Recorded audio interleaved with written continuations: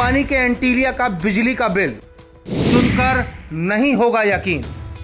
Asia के सबसे rice व्यक्ति और भारत के सबसे बड़े बिजनेसमैन और रिलायंस इंडस्ट्रीज़ के मालिक मुकेश अंबानी के घर एंटीलिया की गिनती भारत ही नहीं, दुनिया के सबसे महँगे और शानदार रेजिडेंशियल में होता है। दुनिया के सबसे अमीर व्यक्तियों में शुमार रिलायंस इंडस्ट्रीज़ के मालिक मुकेश अंबानी का मुंबई स्थित घर एंटीलिया कई वजहों से सुर्खियों में रहता है। Guinness book of world record के अनुसार, मुकेश और नीता अंबानी का घर दुनिया का सबसे महँगा घर है। ऐसे में आम इंसानों के जहन में सवाल ज़रूर उठता होगा कि कितने अमीर शख्स के आलिशान महल का बिजली का बिल कितना आता होगा। मुकेश अंबानी और नीता अंबानी के लिए डिज़ाइन किए गए एंटीलिया को काफ़ी यूनिक ढंग से डिज़ाइन किया गया है।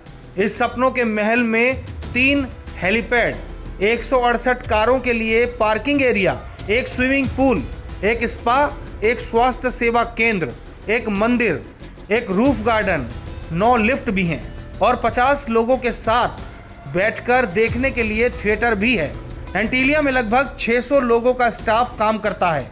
ये बिल्डिंग इतनी ऊँची है कि इसमें हाई टेंशन इलेक्ट्रिकल कनेक्शन दिया गया है।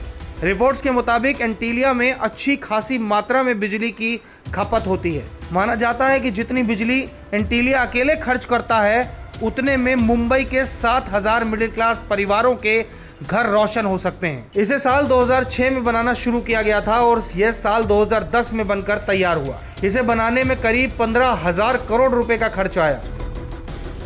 एंटीलिया में काम करने वाले कर्मचारियों को भी अच्छी खासी तनख्वाह मिलती है। रिपोर्ट्स में दावा किया गया है कि स्टाफ को डेढ़ से दो लाख रुपए महीने की सैलरी दी जाती है। अब बात करते हैं, एंटीलिया में बिजली का बिल कितना आता है? रिपोर्ट्स के मुताबिक एंटीलिया में हर महीने बिजली की खपत करीब छः लाख सैंतीस हज़ार दो सौ चालीस यूनिट है। यानी एंटीलिया हर महीने बिजली का खर्च औसतन सत्तर लाख रुपए तक आ जाता है। ये राशि ज़्यादा भी हो सकती है। कहा जाता है कि दुनिया की शायद ही ऐसी कोई सुविधा हो जो एंटीलिया में मौजूद ना हो। फ़िलहाल एंटीलिया के बारे में ये जानकारी कैसी लगी है आपको, हमें कमेंट बॉक्स में ज़रूर बताएँ। वीडियो पसंद आई हो तो लाइक और शेयर करना ना भूलें और डेली न्यूज़, यानी हमारे चैनल को सब्सक्राइब करें।